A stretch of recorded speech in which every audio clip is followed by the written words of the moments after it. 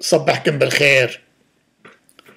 يعني هالفيديو اليوم بدي رد فيه على الإرهابي الطول الأبرية حسن نصر الله بعد بعد كلمته اليوم. حسن نصر الله أنت بتحكي عن المرفق والانفجار المرفق كل الناس بتعرف. كل كل الناس بتعرف.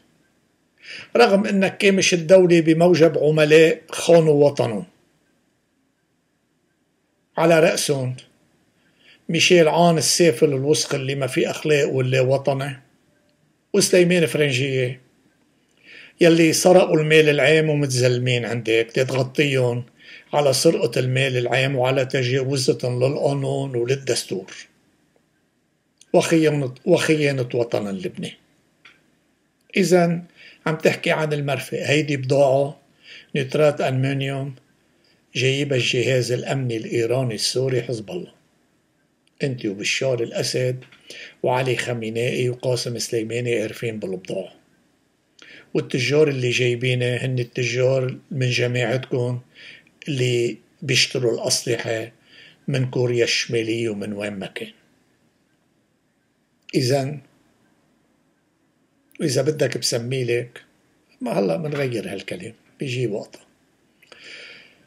إذا أنتو جبتوا هالبضاعة أنت كامش الدولة وعامل قرصنة على الدولة بالقوة وبالمنيح. والسياديين اللبنانيين هن يلي ما بدهم يعملوا حرب أهلية هذا وطنه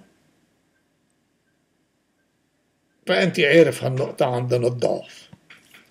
اطلتون اطلت البعض منهم وذبحت البعض منهم وشوهت سمعة البعض منهم وما في شي ما عملته وبقيوا سياديين وماتوا بقبرن اللي اطلتوهن على رأسهم الشيخ بيير جميل شيخ شباب لبنان. ماتوا وبعدن سياديين بقبرهم. إذا أنت عبارة عن مجرم قطة وقطلة هلا كنتوا تاخدوا من هالبضاعة كل وقت اللي بدكن على أساس عم عم بيصير أتك على سو على على مخازنكن الأسلحة بسوريا. وخفتوا من الثوار كمان لياخدوا هالبضاعة. حطيتوهم بلبنان كسر عن رقبة اللبنانية. فتاخدوا كل مرة كمية. تعبوهم بالبروميل تتقصفوا فيه الشعب السوري البريء. مدنيين أطفال ونسوان ومقاتلين ومتظاهرين كمان. تتقتلوهم قتلتوا لكم مليون وشوي منهم. والباقي اللي حاطينهم بلبنان إذا احتجتوا بتودوا بدكن تستعملوهم بلبنان إذا حدا من السياديين بيتحرك. هذا هو. لا بدها قاضي سوان ولا بدها شي. هيدي هي هي المعلومات كلها موجودة عم بعطيك إياها. إذا عيب تحكي هالحكي. هلأ اثنين بتحكي عن أمريكا وديمقراطية أمريكا. ما في شك تشوهت سمعتنا لدى العالم كله. هيدي أمريكا. ما في شك. اثنين في خطأين مهمين. الخطأ الأول اللي نزله هول كلهم معقدين ضد المال انتي ماني هول ضد المال ضد النجاح. ليش واحد ناجح؟ هني ما بدهم يشتغلوا بدهم ياخذوا من الدولة يعطينا شيكات نصرف ما متعلمين. مثلك مثلك مثلك ومثل هول اللي انت ململمه و... ونفس الشيء بيحملوا سلاح وبيشتروا سلاح وشغلات بوهرات على طريقتك. دخلك؟ اللي عم تعملوا ببيروت مش مهني عملوه بواشنطن امبارح قدامك؟ جماعة ميشيل عان اللي مرنن انت وبالصيح ما نزلوا أوصوا على الناس ليش عم بيتظاهروا ما شفت الصور؟ نفس الشيء مثلك. يعني ما في شيء جديد. اذا هيدي وحدة. أما أنك تقول ما بحق الله أمريكا نعم ما بحق لهم الجمهوريين ولا الديمقراطيين. هيك واحد بيشتغل بال real estate شو real estate gangster شغل هيدا كل واحد بيقول لك أنا متعهد. مثل المتعهدين عندكم بلبنان gangster مغطيين. نعم. دونالد ترامب ما له حق ومن أول مرة لما ترشح أنا الوحيد اللي قلت لحجيه وكنت لما اقعد مع الجمهوريين قل لهم ما بحق لكم تقدموا للدولة الأمريكية شخص من هالنوع. جيبوا واحد أشقر وعينيه زرق وهذا حقكم. ينجح بس هيئوه. روح تفرج على أكترية الديمقراطيين خريجين هارفارد أهم الجامعات. من جايين من وراء البار وقت اللي بتشوف التعيينات اليوم كل هالتعيينات تبع تبع الرئيس المنتخب جو بايدن بيكبر قلبك بهالناس. اذا هون معك حق. ما بيحق الله أمريكا إن تجيب شخص هيك من برا. بيدفع لل للسياسيين بوقت الانتخابات تغطي أعمالها.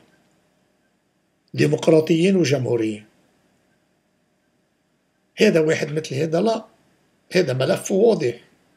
من خلال هيدي هالكلمة يعني هني زعران مثلك مثل ما أنت مسكر هالدولة ما سكرت مجلس النواب سنتين ونص هني عأكبر دونالد ترامب عأكبر منك وأكبر من ميشيل عام ما بينزل هيك وبيقوسوا على الناس ما, حد ما جرى تحقيق وفات هذا على الحبس.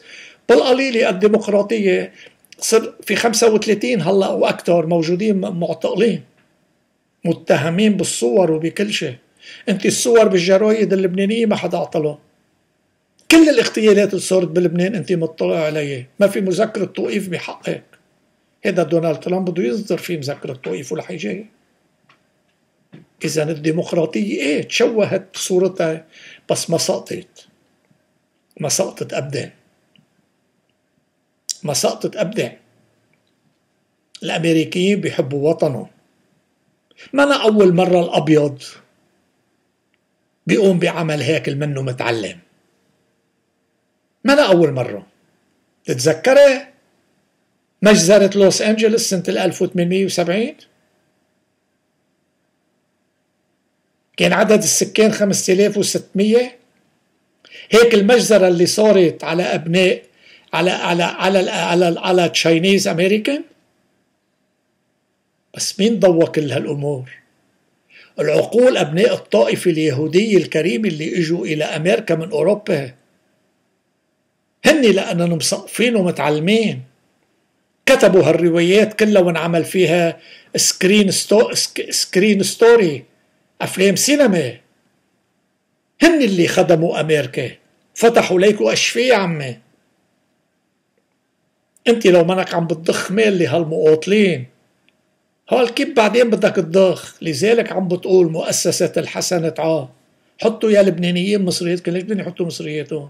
مصريات واضحة جيب مصريات نبيه بري وميشيل عون وعائلته وبناته وسليمان فرنجي وولادها ما رح أعطيك أقسامة وطه ونجيب مقاطع ويحطوا بمؤسسة الحسن المصرية. مصرياتك أنت. والزربجية تبعك. والنواب تبعك تبع حزب الله يحطوا مصريات والوزراء هالمصاري اللي اخذينها من المال العام ويحطوها بمؤسسة الحسن الخيرية. هذا شيء بقول لك إيه. هون قبل ما سكر. البكركي اللي بشار الراعي بشار الراعي قلت لك سابقا وبرجع بكرر لك هلأ. بكركي بدها مكنسة بدك تكنس. كل اللي عم تعمله غلط. كل اللي عم تعمله غلط. منك مجبور يضحكوا عليك بواسطة ميشيل عون وسعد الحريري. حسن نصر الله بإيده اللعبة كلها هلو. طالما إسرائيل مصلحتها أنه هو يبغى هي دول. دول بتعمل مصالحة ما عندها عدوات وما عندها صداقات. طالما عم بيدمر وعم بيخبي عم عم بيخرب وعم بيقتل هالناس وعم بيقتل الأذكياء إيه كفى. طالما بتخبي بمصلحتك. بتروح لعنده بتقول له بدي حكومة. بيقبل معك أو ما بيقبل معك. بدك تبلش أنت أنت بكركي بكركي بالزيت. مين ما كان عروسة الاستاذ ميشيل أبو جودة سنة ال 75 بيقول لي قال لي ليك تفاجأ حافظ الأسد. انه الأمور نفكر قاعدين بالكهوف بمرنطونس أصحية. بدير أرنتشهوين قاعدين هيك عم بيخططوا لقوهم في شوش. مستواهن جون عباد كريم بقردوني وهذا المستوى. بدكن تبلشوا ببكركة كل واحد بده ياخد وظيفة عامة كبيرة. من رئيس جمهورية إلى مجلس النواب إلى الوزير إلى المدراء العامين إلى إلى ضباط في الجيش. بدكن تدرسوها ويكون في ملفات ثابتة. أخلاقه سجل الأخلاق تبعه نزاهته صدقه عيوبه شو بيقول عن بوق الطوائف اللبنانية؟ وليش هو يطمح إنه يكون بده مركز مقام؟ وبعدين وافقوا على ترشيحها. إذا ما بتبلشوا بالملفات كله كذب. كل واحد عنده اسمه وعنده ملف. أنا اسمي لوسين وملفي أنا ما بيسمح لي لأني أخطأت بحياتي تعبيت ملفي هيك. إني يكون حاجب عند مخطور مش حاجب ببلدية بمخطور حي غير سجلي ما بيسمح لي. انتو بدكن تبلشوا هيك. بدكن تقدموا للدولة رجالات مهمة. ليك عملائكم عملاء خيانة لبنان ميشيل عون وسليمان فرنجيل اللي سورقين المال العام وخونوا وطن لبنان خيانة. ليك من بيقدموا للدولة.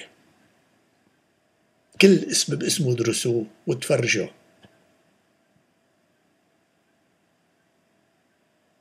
لا بدي أقول لكم أكثر من هيك طولت عليكم إذا حسن نصر الله ليه تحكي بالديمقراطية؟ وليه تحكي بالإنسانية؟ وليه تحكي بالأخلاق وبالنزاهة وبالصدق؟ ما في شي بينطبق عليك. دولة تصدر فيك مذكرة توقيف مثل ما نحن بدنا نعمل بمشي بدونالد ترامب. بس بده يكون في صدق بالملف مش اتهام مثل ما أنت بتعمل. أنت خنط وطنك حسن نصر الله. الإمام علي والحسن والحسين يلي هن إمامنا وهن إمام المسلمين وإمام العرب. ما بيفتخروا فيك. أنت الطول قطلة مثل أي الطول قطلة بصغرتها عند الباك. هيدا مستواك. مش أكتر من هيك. ليه بقى تذكر أمريكا بيتمك؟ هلا اجى الجروب اللي بده يسلم ملف الشرق الأوسط ونورس أمريكا. وأن هن بيعرفوا أكتر مني بس نحن بدنا نضل نبدي رأينا. رأيي أنا واضح. حكومة بقيادة عسكري نزيه كبير ومعروف بنزاهته ضابط مهم. على صورة ومثال الجنرال المتقاعد خليل حلو مثقف مثله. وأن يكون بعده بالخدمة مش ما تقولوا عم برشح خليل حلو. ما؟ بيعلن بيعلن وزارة كلها من أهم الشباب بلبنان. كل المدنيين.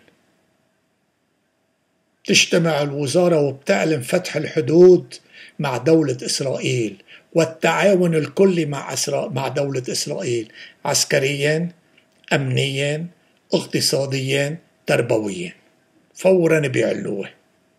بدون ما نسأل الإسرائيليين. عليهم. نحن نحن l'homme propose la femme discute هن بيعملوا مصلحتهم. إذا مصلحتهم معنا بس نحن منفرجيهم حسن النوايا تبعنا.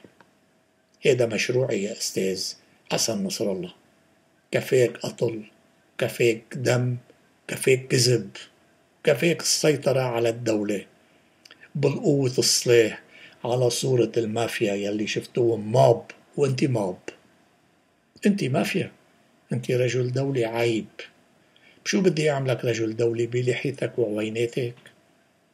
شايف شكلك هذا بينعمل رئيس دولة ما بدي أحكي لك أكثر